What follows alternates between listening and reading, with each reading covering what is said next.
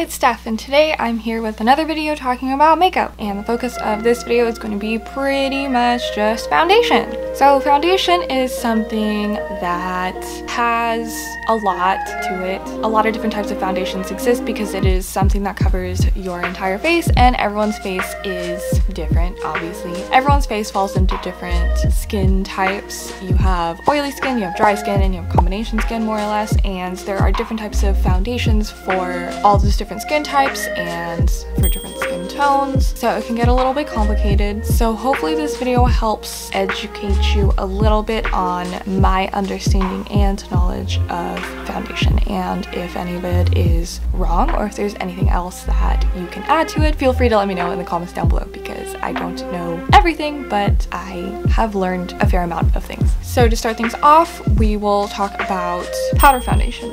Powder foundation typically comes in a compact or some type of circular looking packaging that you can either flip the top open or you unscrew the top. Powder foundation has a couple different pros and a couple different cons obviously than working with a liquid foundation. Powder foundation tends to have more sheer coverage. When I'm talking about coverage I'm talking about how well it makes your face one color pretty much. It kind of makes sense though because it is a powder so you're going to need multiple applications of the powder and it's a little more time consuming in that way versus working with a liquid foundation you just kind of put the liquid foundation on your face because that one's a little more cream based your face absorbs it whereas the powder sits on top of your face and you can kind of imagine how through the principle of what they're made out of that powder foundation typically has less coverage powder foundation also settles a little bit more, I've heard, into the lines in your face and make them a little bit more noticeable. But that is something that I believe doesn't always happen and a lot of it has to do with how you apply it on your face. So there are some pitfalls in that, but overall it is much more natural looking than liquid foundation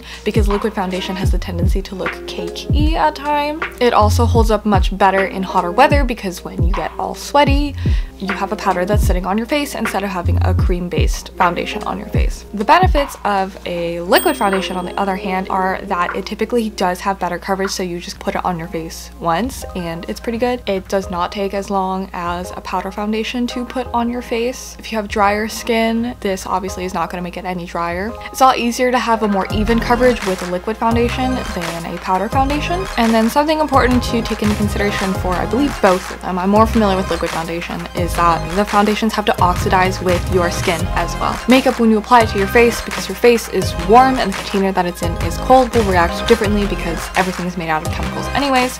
So when you apply liquid foundation, I know for sure it has to oxidize because it is something that is cream based and I believe they tend to go a little bit darker after they oxidize. With powders, I think there is probably something with the powders reacting to the warmth of your face as well, where it sort of melts and settles in a little bit. Definitely if you are trying foundations for the first time, it's really important to figure out what your skin type is, whether you have oily skin or dry skin or a combination of oily and dry. It's good to know what type of skin type you have beforehand because then it helps narrow down whether or not you should focus on getting either a powder-based or a liquid-based foundation. It can get a little bit complicated, however, when you start factoring things like your skin tone into it because skin tones get classified into three sort of general categories as well. This is for skin tone, which is something that is different than skin type, which is where the entire dry or oily or combination comes from. So for your skin tone, there tends to be some sort of under color. I can't think of the wording right now. People's skin tones tend to lean towards warm or cool or neutral. And